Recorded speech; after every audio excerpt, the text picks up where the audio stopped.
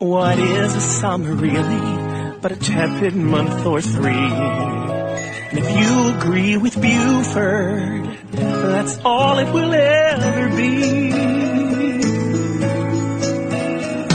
And we don't need to break the laws of physics to make a day that's longer than a day. We can follow that old sun around the circumference of the globe all the naysayers from naysaying. Cause I believe we can. And that's the measure, the measure of a man. It may sound far-fetched, this thing we